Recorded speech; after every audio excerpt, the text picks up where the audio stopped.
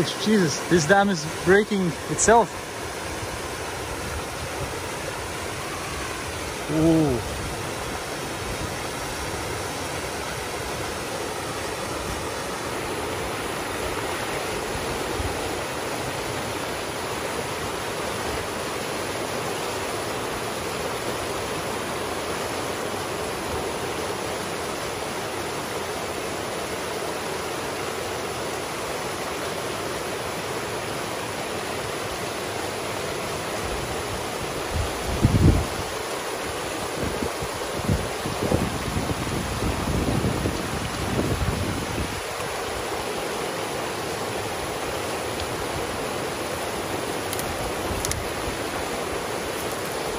Nothing to do. Breaking, breaking